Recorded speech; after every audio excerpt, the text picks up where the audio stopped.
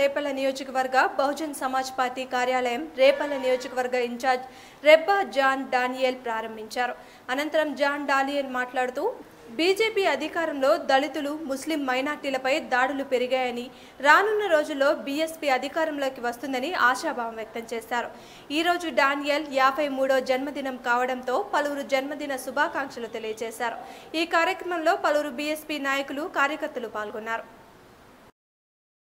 జాతీయ స్థాయిలో మూడో స్థానంలో ఉన్నటువంటి బహుజన్ సమాజ్ పార్టీ రెండు వేల పంతొమ్మిది ఎన్నికల్లో రాజ్యాధికారం చేపట్టడం ఖాయం. కుమారి బెహంజీ మాయావతి ప్రధానమంత్రి కా కావటం ఖాయం.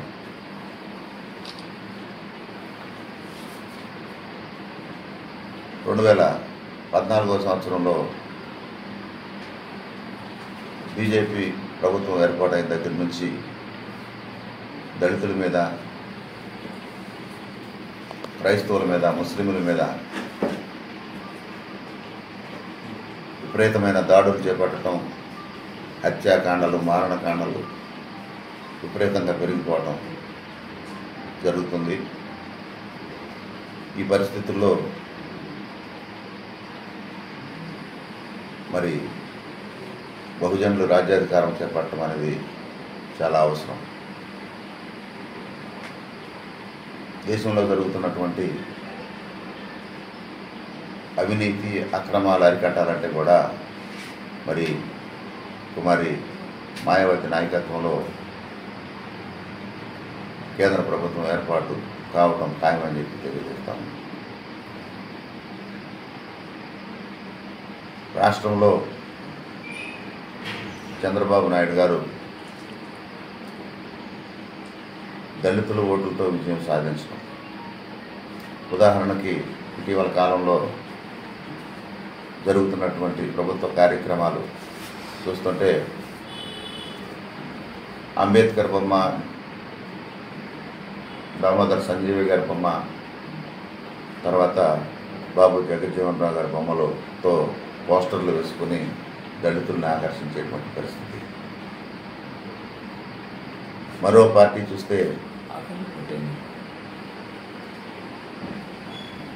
ఒక క్రైస్తవ పార్టీగా ముద్ర ఎంచుకుని దళిత బహుజనుల క్రైస్తవుల ఓట్లు ఆకర్షించే ఉంచుకున్నటువంటి పరిస్థితి. ఎవరు అధికారం చేపట్టినా దళితులకి న్యాయం జరిగేటువంటి పరిస్థితి కాదు. ఈ రోజున రేపల్లి నియోజకవర్గంలో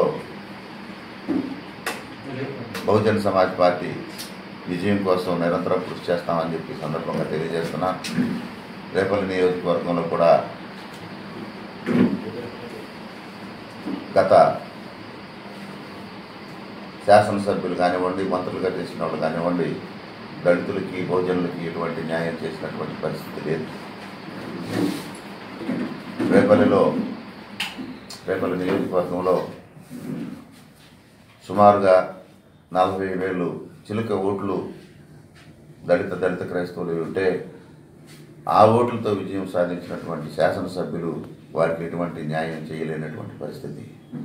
రానున్న అసెంబ్లీ ఎన్నికల్లో రేపల్లి నియోజకవర్గంలో బహుజన సమాజ్ పార్టీ విజయం సాధించడం ఖాయమని చెప్పి ఈ సందర్భంగా.